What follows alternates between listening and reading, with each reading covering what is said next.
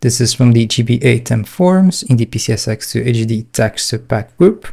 And this is a post by Android Games 20 and the post is called Ratchet and Clank 3 Texture Pack HD. And this is for the European version of the game, but it seems to be working for the USA version as well. And then you can click here on the link to download the textures.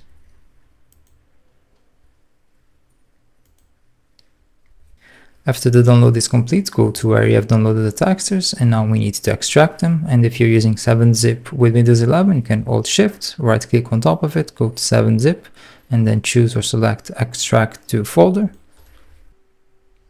Then copy or cut this folder, go to PCSX2, then go to tools, open data directory, go to the textures folder and place the HD textures folder in here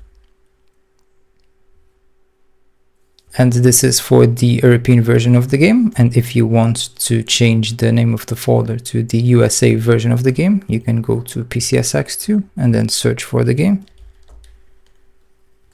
Right click on top of the game and then go to properties. And here you can copy the game serial or the game ID and then paste it here in the folder name. And the textures are now installed. Then go back to PCSX2 and in the game properties as I did before right click on top of it and then go to properties then graphics rendering and here in the internal resolution change it to a higher resolution or you won't see much of a difference in the HD textures. Then go to the texture replacement turn on load textures and you can also turn on asynchronous texture loading. Now close this run the game and the HD texture should be working correctly that's it for this video and thank you for watching.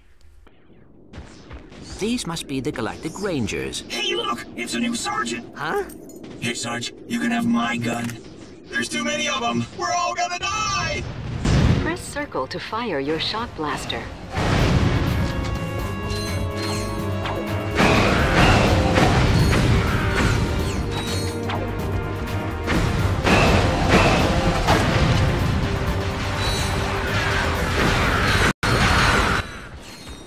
Glad to see you, Sarge. We're pinned down by that enemy vehicle. Somebody's gotta take it out. Let me guess. That somebody is me.